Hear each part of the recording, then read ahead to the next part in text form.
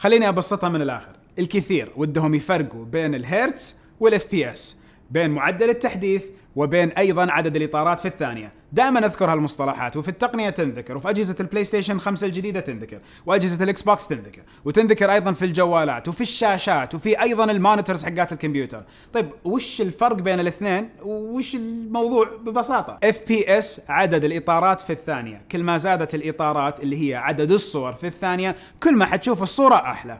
هرتز عدد مرات إنعاش الشاشة لنفسها. يعني هي تبي تعرض صور. كم مرة بتعرض صورة في الثانية؟ لو قلنا 60 هرتز يعني 60 مرة بتبين الصورة في الثانية بترجع تنعشها أو بتحدثها. هذا الأمر يعني إذا عندكم جهاز زي البلاي ستيشن 5 قاعد يعطي 120 هرتز وعندكم شاشة تشغل فقط 60 هرتز وش بيصير؟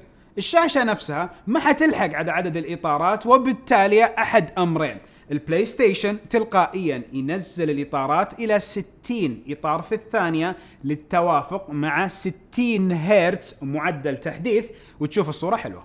أو يصير في شيء لو كان الكمبيوتر قاعد يعطي 200 إطار في الثانية والشاشة ما تلحق إلا على 60 هرتز يصير في شيء اسمه frame dropping frame break اللي هو تشوفوا الصورة لو وقفتوها تلاقوا في شكل غير الشكل. حلو؟ فعدم تناغم بين الصور اللي تجي من الكمبيوتر للشاشة والصور اللي تعرضها الشاشة لأني ما هي بقادرة تلحق. الكمبيوترات عندها قدرة مو طبيعية في إعطاء عدد إطارات في الثانية كبير عشان فيها قطع hardware زي ال GPUs وكروت الشاشة اللي مرة قوية وحديثة. مطورين أجهزة الألعاب يحطوا حد أقصى لعدد الإطارات في الثانية. المطورين حقين الألعاب يقدروا يختاروا هذا العدد أو يقللوا منه. نجي للبلاي ستيشن 5 مكتوب الكرتون 4K 120 يعني هالجهاز قادر على إعطاء جودة صورة 4K عدد إطارات في الثانية يصل ل 120 إطار. مو كل الألعاب تسوي كذا. أبدا. مطور الألعاب هو اللي يختار. بيوصل لهالمستوى العالي بالإطارات أو يخليها 60 إطار 100 إطار يضبط أموره وانتهينا. نيجي على اللي بيشوف اللعبة. انتو اللي بيلعب اللعبة واللي بيشغل المحتوى على نفس البلاي ستيشن شاشتك بالبيت تعطي 120 إطار بتاخذ التجربة كاملة. إذا الجهاز يدعم وهو يدعم إذا اللعبة تدعم عاد شيكوا ما أدري. وأيضا إذا الشاشة تدعم فأموركم طيبة. أما إذا هذا الأمر ما يصير نقلل من عدد الهيرتز اللي في الشاشة من خلال الإعدادات. أو الامر يصير تلقائي وبتحصلوا. بكذا بكل بساطة على أجود صورة. بتفرق معكم؟ تفرق بصراحة بشكل رايق للي يدققوا ما حتكون فرق جدا كبير للألعاب العادية. يلعب ماريو ويبغى frames per seconds عالي مو منطقي. تلعب FPS first person shooters اللي هو قاعد ماشي بسلاح Black Ops أو أشياء زي كذا تفرق. لأنه ثواني حتفرق معاكم معدل التحديث والشيء الجديد من معلومات اللي بتشوفوه وعقلكم كيف يحلل هالمعلومة ويتخذ القرار عليها.